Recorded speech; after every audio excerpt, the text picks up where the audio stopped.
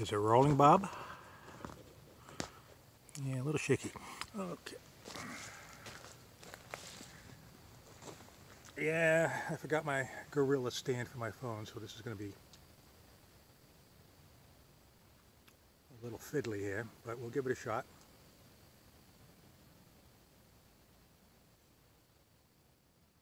Greetings, YTPC. In the woods again. Seems to be my favorite place to make videos. Last full day of summer, 2022.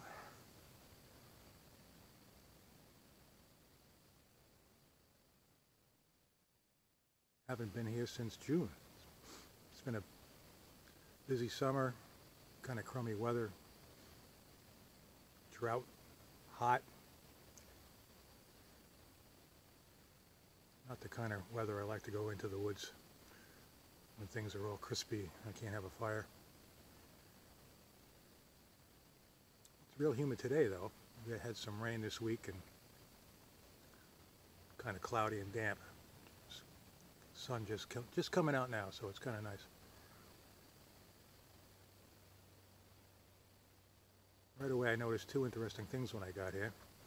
One was a whole bunch of little red efts. They're uh, the terrestrial version uh, stage of a, of a salamander. They, uh, I don't know the whole life cycle, but they, uh, they spend some of their life as newts in the water and then they come out on land as little red, bright orange salamanders walking around the forest floor easy to spot, but there's so many of them this uh, this time that I have to have to really watch my step. I don't want to I don't want to crush them. I'm sure I probably stepped on one or two just wandering around here, but I'm trying to be careful.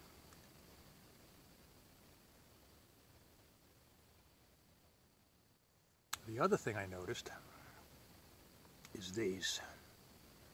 Hope you can see that. Many of these little, mostly little, some of it some bigger, but mostly little purple mushrooms. Whoop.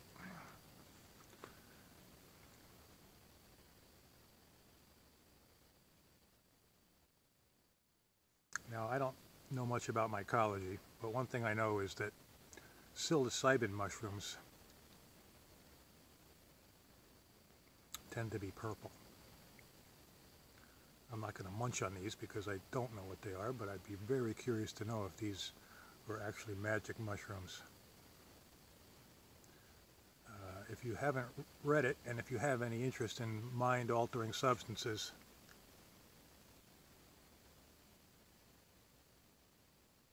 highly recommend Michael Pollan's How to Change Your Mind.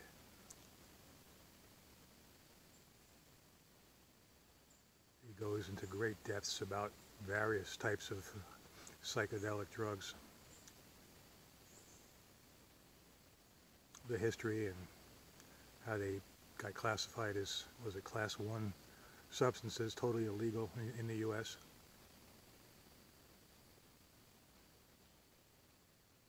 But now some 50 years later, 60 years later, they're starting to be reevaluated as uh, something that may have a lot of potential for treating various disorders like depression and PTSD and things like that, in addition to some of their more uh, mind-altering mind-opening benefits.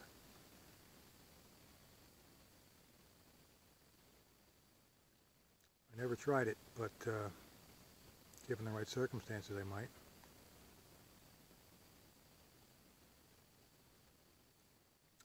I think my favorite line from Paul, uh, Pollan's book was, they provide you with unmediated access to the divine.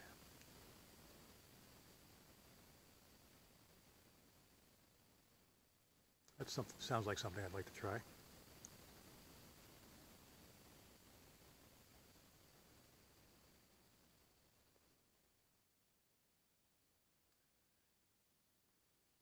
Since I'm in the woods, I'm smoking my uh, chunky rustic Rogers Rarity. Holds a lot of tobacco and it's nice and thick so the bowl stays cool.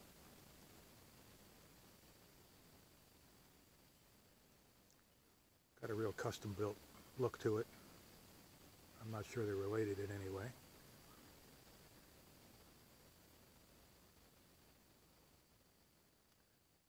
And in it I'm smoking some Balkan Sasieni.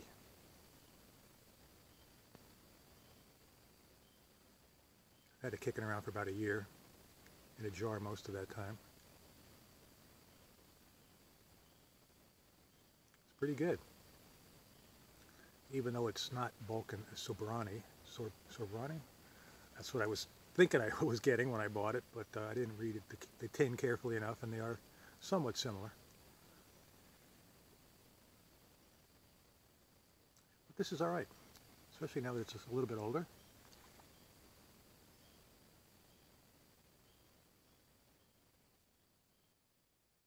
Good choice for the woods. Another thing that happened while I was here,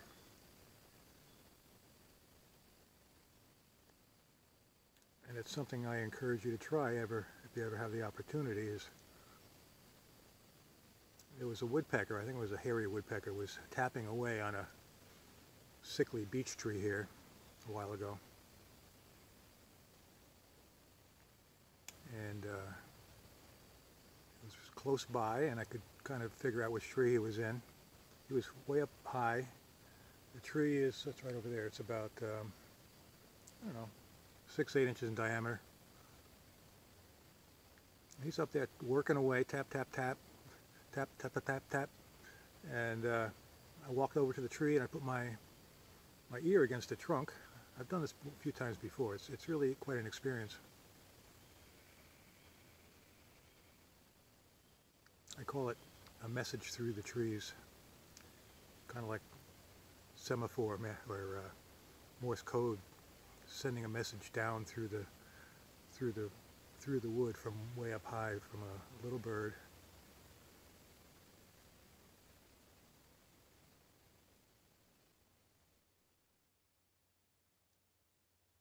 And anytime I do that, I feel like the world is trying to tell me something.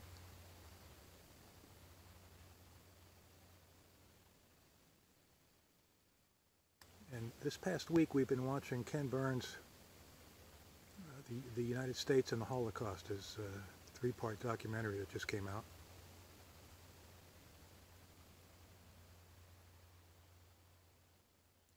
I won't go into all the details, but it's uh, it's, it's, it's really quite disturbing.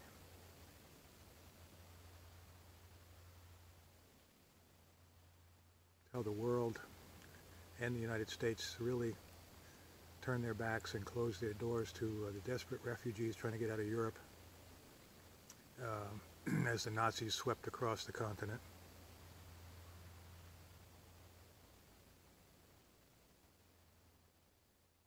And it's uh, a stark reminder that here in the United States and many places, but here we don't, we don't like to think of ourselves as being xenophobic and racist.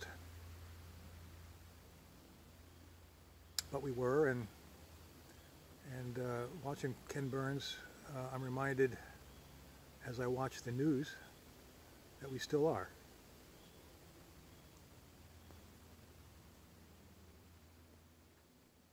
This is the same week when uh, governors down south are putting unwitting refugees on airplanes and then sending them north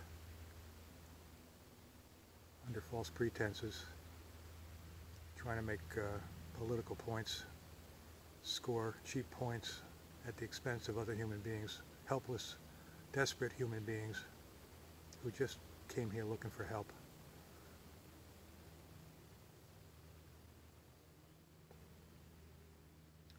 And at the same time, just this past week, we had a former president at a rally with thousands of people holding up their hands in, in one-arm salutes.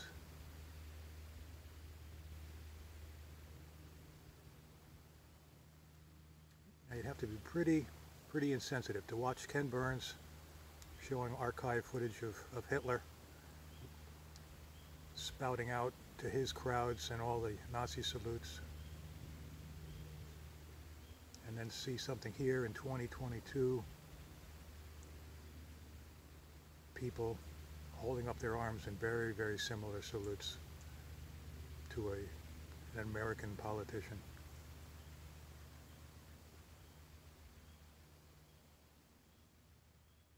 There's something deeply wrong in America right now. I suppose it's always been there, but something about our times, the internet, our politicians, is not bringing out the best in us.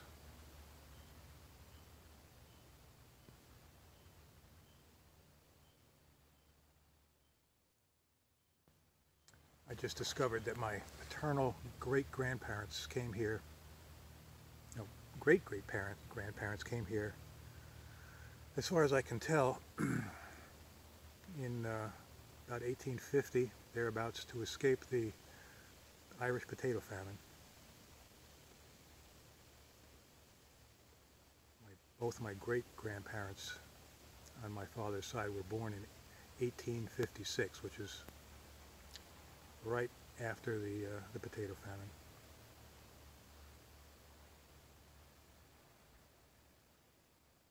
So I know what it is. I don't know what it is, thank God, because uh, my life has been, been easy. But uh, I have ancestors who knew what it was to flee desperate times and come to America looking for a better life. and uh, thank goodness they did because uh, otherwise I wouldn't be here today. And I'm deeply appreciative of all the trials and tribulations that my forebears went through for you know, literally thousands of generations, but uh, especially the ones that I can find out information about, um, that made it possible for me to be here today and have a good life.